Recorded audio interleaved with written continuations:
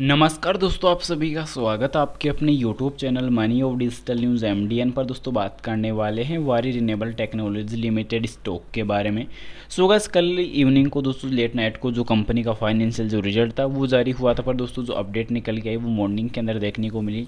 पर अभी के टाइम दोस्तों कंपनी को रिज़ल्ट के अंदर प्रॉफिट काफ़ी अच्छा नज़र आया, पर दोस्तों कंपनी ने डिविडेंड की भी फाइनल अनाउंसमेंट कर दी है। और दोस्तों, जो राइट जो फाइन डिविडेंड की जो फाइनल जो डेट है, वो कब तक दोस्तों, आप लोग को प्रॉफिट प्रॉफिट मिलेगा और उसका जो डिविडेंड है वो आपके डीमेट अकाउंट में कब तक जमा होगा। तो टोटल जो डेटा है वो कंपनी ने दोस्तों ऑफिशियल स्टेटमेंट के अंदर क्लियर मेंशन किया है। तो अभी के टाइम दोस्तों सबसे पहले मैं प्रॉफिट की अगर हम बात करें दोस्तों, इस रिज़ल्ट के अंदर कंपनी का जो प्रॉफिट हुआ है वो दोस्तों चौवन करोड़ का नज़र आया है। तो चौवन करोड़ का प्रॉफिट देखने को मिला है, जिसमें जो नेट सेल हुई है दोस्तों कंपनी की दो सौ तिहत्तर करोड़ की कंपनी की सेल देखने को नज़र आएगी। अब दोस्तों दो सौ तिहत्तर करोड़ की सेल नज़र आई है, जिसमें दोस्तों एक सौ अट्ठानवे करोड़ का दोस्तों कंपनी का एक्सपेंस रहने वाला है ऑपरेटिंग ऑपरेटिंग प्रॉफिट पिछहत्तर करोड़ का नज़र आएगा। और टोटल कंपनी का टैक्स पे आउट करने के पहले दोस्तों कंपनी का जो है बहत्तर करोड़ का प्रॉफिट बन रहा था। पर इस बीच दोस्तों कंपनी का जो टैक्स पे आउट के बाद कंपनी का नेट जो प्रॉफिट हुआ है, दोस्तों चौवन करोड़ का नज़र आया है। और कंपनी की दोस्तों ई रेट में भी पाँच रुपये इक्कीस पैसे की बढ़ोतरी नज़र आई है। तो कहीं ना कहीं काफ़ी अच्छा जो प्रॉफिट है, इस रिज़ल्ट के अंदर नज़र आया है। पर अभी टाइम दोस्तों कंपनी ने फाइनल जो अनाउंसमेंट है, वो डिविडेंड को लेकर कर दी है। तो दोस्तों अभी टाइम हम क्लियर यहाँ पे देख सकते हैं कि कंपनी का जो डिविडेंड को लेकर जो है दो रुपये का दोस्तों जो डिविडेंड है, वो यहाँ पे जारी किया गया है।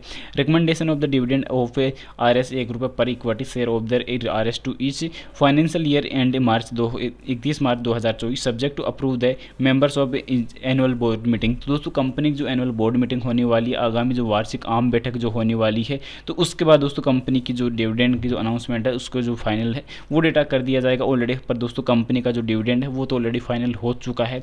पर अभी टाइम दोस्तों कंपनी ने ये भी क्लियरली मैंशन किया कि कंपनी का जो डिविडेंड है वो आपके डीमेट अकाउंट में जो बोर्ड मीटिंग के तीस दिन के अंदर अंदर आप लोगों के जो डीमेट अकाउंट में जो जो डिविडेंड है, वो आप लोगों के डीमेट अकाउंट में जमा कर दिया जाएगा, रिसीव्ड हो जाएगा। तो ये कहीं ना कहीं कंपनी के दोस्तों एक सबसे अच्छी जो है सूझ बूझ एक अच्छी फैल देखने को नज़र आएगी। कंपनी ने पहले ही क्लियरली मैंसन कर दिया है कि कंपनी का जो डिविडेंड, जो प्रॉफिट है, वो आप लोग को आपके डीमेट अकाउंट में थर्टी डेज़ के अंदर, जी हाँ दोस्तों, तीस दिन के भीतर आप लोग को प्राप्त हो जाएगा। तो ये काफ़ी ज़्यादा कंपनियाँ ऐसी भी होती है दोस्तों की जो अनाउंसमेंट तो है, वो तो कर देती है, पर दोस्तों ये नहीं बताती कि कंपनी का जो डिविडेंड डिविडेंड है जो पे आउट हो रहा है तो वो आपके डिमेट अकाउंट में कब तक आएगा और किस प्रकार आएगा? दोस्तों, ये कंपनी ने काफ़ी अच्छा जो है क्लियर मैंसन जो डेटा किया है तो ये अपने आप में काफ़ी अच्छी पहल देखने को नज़र आई है। तो अभी टाइम दोस्तों, इस स्टॉक को आगे के लिए अगर हम होल्ड रखें तो काफ़ी ज़्यादा बेटर डेटा नज़र आएगा।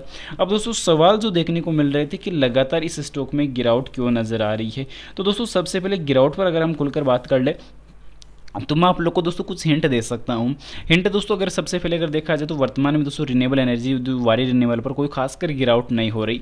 इसके सबसे पीछे का जो रीज़न है, वो देखने को मिल रहा है कि एफआई के जो इन्वेस्टर हैं तो वो लगातार दोस्तों जो है अपनी जो होल्डिंग है, उसको काफ़ी तेज़ी से जो है इन्वेस्ट करते हुए जो नज़र आ रहे थे, वो वापस अभी टाइम भारतीय बाज़ार से निकालते हुए नज़र आए हैं। और पिछले दो जो सेशन नज़र आए थे, जो गुरुवार का और शुक्रवार का दोस्तों इन दो सेशन के अंदर दोस्तों जो है पंद्रह लाख करोड़ रुपए का दोस्तों जो है एफआई का लॉस देखने को मिला है तो अब पंद्रह लाख करोड़ का जो लॉस देखने को मिला है एफआई का तो उसके पीछे का रीज़न ये देखने को मिल रहा है कि एफआई के जो इन्वेस्टर हैं तो उनको लगातार ये दोस्तों कन्फ्यूज़न देखने को मिल रहा है कि जो वर्तमान गवर्नमेंट है, वो जल्द ही दोस्तों बदलने वाली है और नई गवर्नमेंट आने वाली है।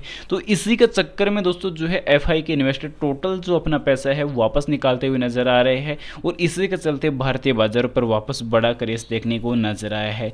तो अभी के टाइम दोस्तों जो मामला है फिफ्टी फिफ्टी देखने को मिल रहा है कि दोस्तों ये गवर्नमेंट रह भी सकती है और बदल भी सकती है। तो अभी के टाइम दोस्तों पलड़ा जो है दोनों तरफ़ बराबर है। तो अभी के टाइम दोस्तों जो है होल्डिंग और कन्फ्यूज़न दोस्तों अभी के टाइम दोनों रखनी होंगी। क्योंकि अभी के टाइम अगर ओल्ड जो गवर्नमेंट अगर वही वापस अगर मैनेजमेंट अगर देखती हो और वही पहले वाली गवर्नमेंट की दोबारा सरकार बनती है तो दोस्तों ऑलरेडी मार्केट नॉर्मल भी आ जाएगा।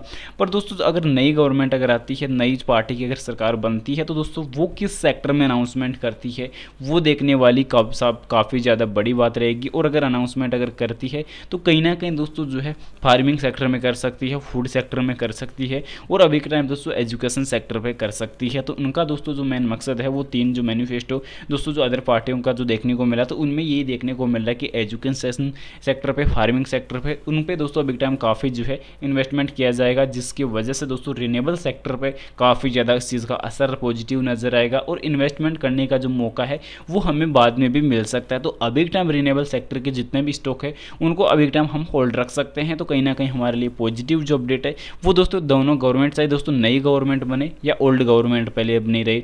तो उस पर दोस्तों कहीं ना कहीं जो है रिन्यूएबल सेक्टर पर दोस्तों कंटिन्यूसली जो है हमें होल्डिंग बनाने की आवश्यकता है। और एफआई के जो इन्वेस्टरों का जो कन्फ्यूज़न है, वो दोस्तों जायज़ भी है, क्योंकि ऑलरेडी जो करोड़ों का जो जो पेमेंट है, वो बिकना दोस्तों शेयर मार्केट में अटका हुआ है और काफ़ी बड़ा लॉस भी वो यहाँ पे काफ़ी बुक भी यहाँ पे कर चुके हैं। तो जो डिविडेंड की अनाउंसमेंट है, वो ऑलरेडी हो चुकी है दोस्तों वारी रिन्यूएबल पे। तो अभी एक टाइम मंडे सेशन पर एक बार फिर से रैली आने की उम्मीद है। फ़िलहाल आपकी नज़र में इस स्टॉक की और कोई बेसिक जानकारी हो कमेंट सेक्शन में ज़रूर से बता देना। उम्मीद करता हूँ जानकारी पसंद आई होगी। पसंद आई वीडियो को लाइक कर देना।